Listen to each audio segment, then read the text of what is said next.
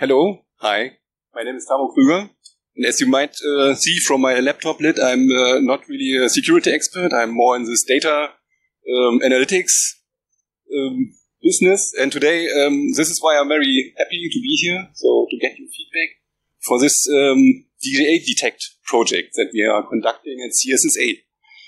Um, before I start with this technical stuff, something about the CSSA. This is like an um, association where we like provide a safe space for several companies, and um, it's kind of a self-support group where they can like talk about security-related stuff, like incidents and best practices and so on and so forth.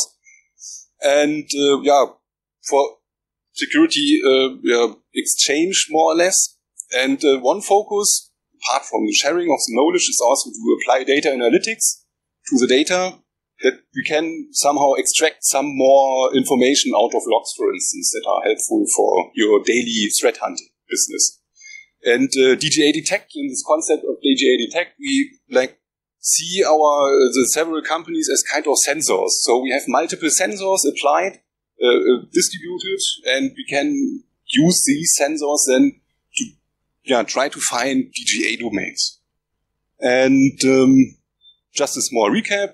I think all of you know what DGAs are, domain generation algorithms, which are used in botnets. So you can, there's like some algorithm behind this. Here's one example I copied just from uh, Wikipedia.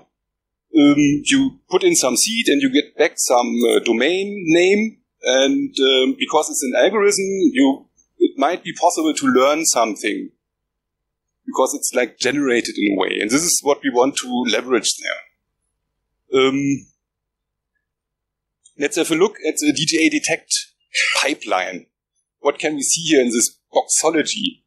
Um, we start at the top where we see like the, the update of, of um, daily update of the company. They have to upload like the domains they have visited together with accounts, how often they are visited. Then we apply our um, machine learning model where we um, like for each domain, look how probable it is that it's a DGA domain and use this as a pre-filter. So we select just a subset, very small subset of the data in the end, which we then further annotate and put into a central MISP instance where we collect all these potential suspicious domains and uh, yeah, add some more meta information to make our predictions more confident in the end. Um, from this, we then generate some kind of feeds we give back the companies more or less a very, very small subset of domains which they should follow up on. And um, furthermore, with this daily update data and together with um, data from DGArchive, from Daniel Plohmann, which was mentioned already several times here, um, we, we are able to update the classifier on a daily basis. So this now looks a little bit complicated and perhaps a little bit weird to you. Why, why should we do this? Is it a good idea? Um, let's have a look at some example here. Um, here's like, um, uh, yeah, an example of data I've applied to this kind of pipeline, like 11 million um, domains, which I then add or like pre-filter with my machine learning model.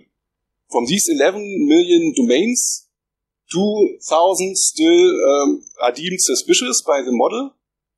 This is still quite a lot, I would say. This is something that you wouldn't really want to like uh, look at at uh, yeah, manually. So um, the correlation part in the MISP here is crucial. We annotate the data further, and for instance, by looking the, at the creation date of the 2000 domains, we look at which IPs they are hosted, and then we like cluster them and pick out interesting domains which are, have certain properties. And then we end up with 90 domains from this initial 11 million domains, which is then handled in a way. So um, our setup is more or less kind of boiling down the big data pool into something that is manageable then by a human analyst.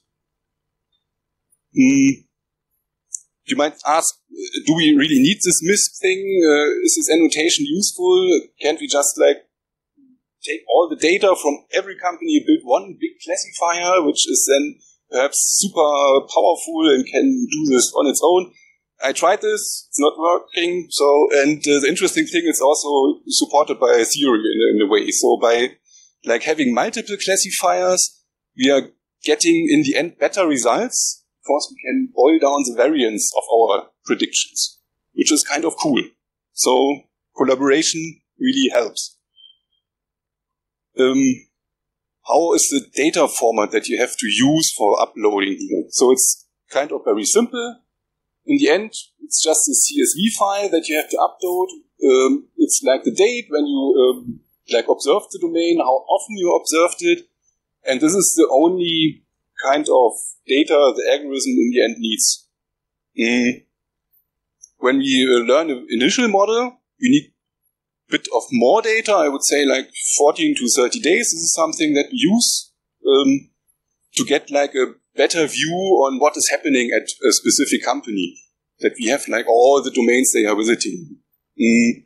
And then when we have built this initial model, the daily updates are used both for filtering, but also for updating our model. So then, like the, the classifier I've uh, like introduced, what, what kind of machine learning concepts we are using here. Um, we had to look at several um, kind of models. In the end, we ended up with some deep learning model. And um, like all of you have heard of deep learning, it's like a very big hype. And uh, in the end, um, it has some very nice things. It can really use big data pools. Uh, it has this retrainability built in that we need from this daily update part. Um, but it also has the drawback that we, it's a black box model in the end. We, we just don't can look into this. And I have like, these are all links. I will like share this uh, presentation later on where you can have a, look at some, some interesting talks. Like this is more from the machine learning point of view. And here's like from James Mickens. I really enjoyed this. This was very interesting keynote speech where they are more like, like, yeah, ranting about uh, this deep learning hype. Um, very interesting. What we done, we evaluated several models here from a paper, which I've also linked here. And um, is it like feasible to do this at home? Yeah, yes, it is. With uh, GPUs, it is uh, like very easy to do. Our initial model here, for instance, with uh, 26 million domains, if you like learn it on just one GPU, it takes like two and a half hours, which is okayish, I would say. And the daily updo- uh, update of a model is like three three minutes, which is kind of doable. It's uh, and um, what we get in the end is like um, test accuracy of 99.9%, which is good, but still not enough. This is why we need MISP in the end. And um, like the winner of this challenge here was a, a pretty standard convolutional network. Well, it's like on the left side here. And um, what it is doing in the end is kind of a very efficient uh, soft n-gram classification. So if you have questions to this, we can like discuss it later offline. In the end, it's kind of interpretable what the model is doing, but we cannot really look into it. So, but it's a way which makes sense to um, use in the end. And what do we want to uh, select now? Um, what we can see here is like the correlation graph for MISP. Um, these are all potential um, yeah, suspicious domains that we have selected with our classifier. We annotated them with uh, like when they first have been seen, these domains, and also on which IPs they are hosted. And we see like these, these clique is something that we want to extract in the end. These uh, are the DGAs that we want to uh, get. And how can we really do this now with MISP?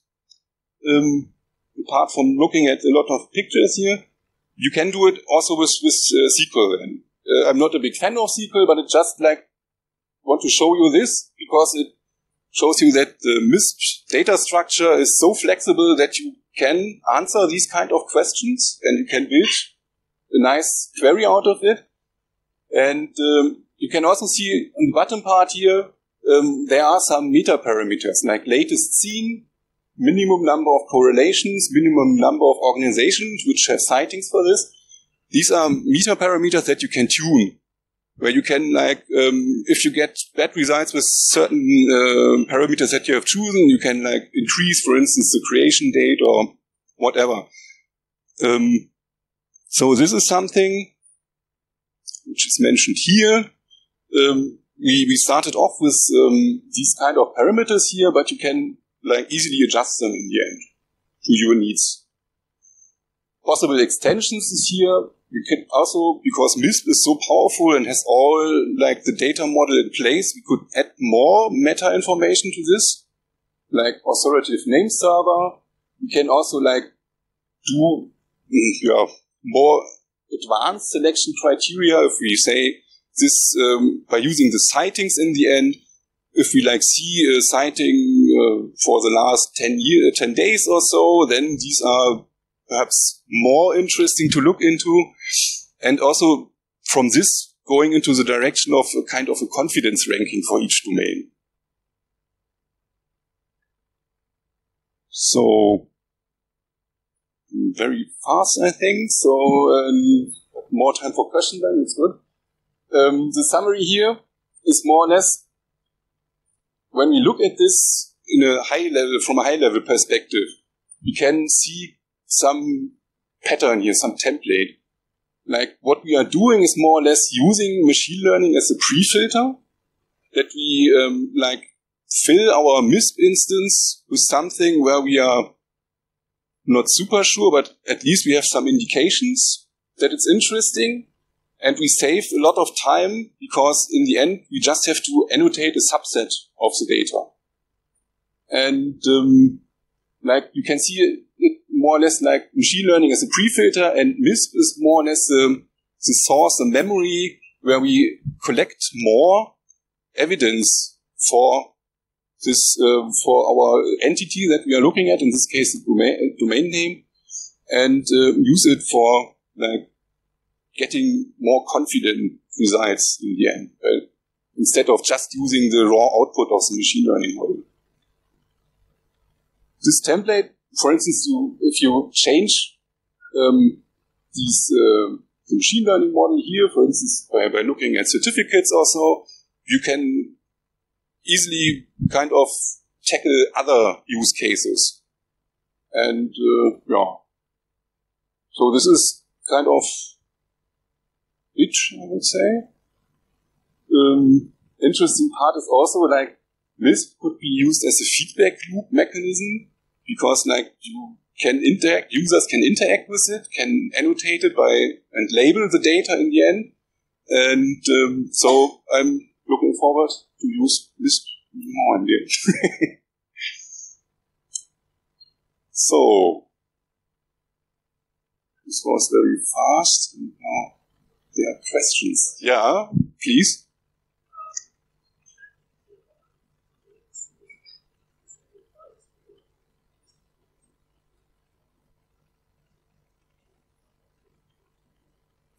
Um, this is why, yeah, this is why, why I need the counts. Um, the counts are used for weighting the data. It's also like if I, if the company visited a specific domain very often, I also want to put a lot of weight that I do not misclassify it. And um, using these weights, I can like do this balancing of the data set in the end.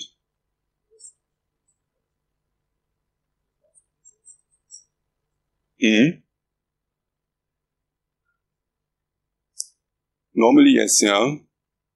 So um, if you look at the data that is like originating from a company, then you have like some domains which are visited like several million times, and uh, like Office 364 or so, five. And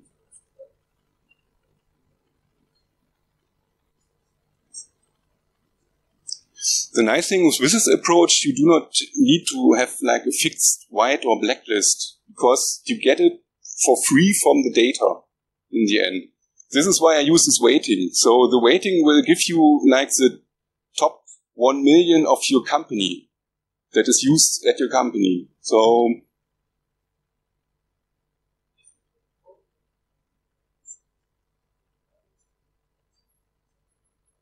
yeah. Mm. Yeah, that's right. Um, this is more or less like accounted by the uh, the known bed I use. So from this DGArchive, they have kind of a subset of DGAs in there, like 90s or 90 or so, and they are more or less like the, the, the kind of semantics that is covered there. I can also like exploit and have it in my classifier in the end. So this is also something that is interesting. Why why not use just the raw list from DGArchive? Um, in a way, the classifier can generalize. So what I see is that he is like classifying some DGAs which are not in the list from DGArchive. So it's a way of extending this list in a graceful way. So more questions.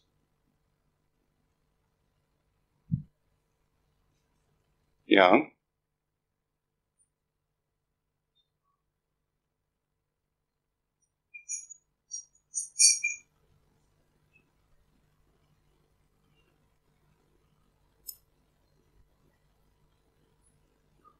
Yeah, yeah, that's right.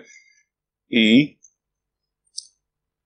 This is uh, also, I would say, covered by um, the initial uh, training data set I use because um, at the company uh, it has some kind of visit patterns.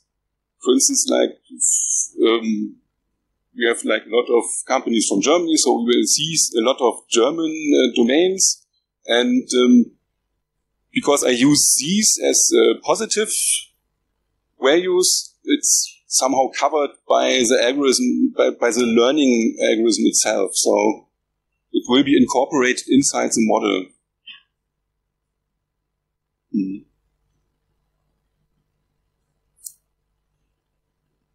More questions? yeah, yeah, please.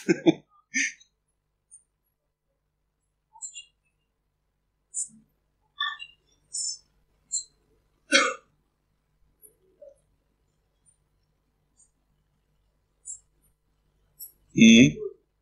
Yeah, that's right. This is actually what we use uh, as one metadata here. Like one of these uh, dates here is like when it was first uh, created. So, uh, and this is why, like machine learning alone will not solve the problem. You need additional metadata, and this will help in the end to to get a better decision. So, yeah.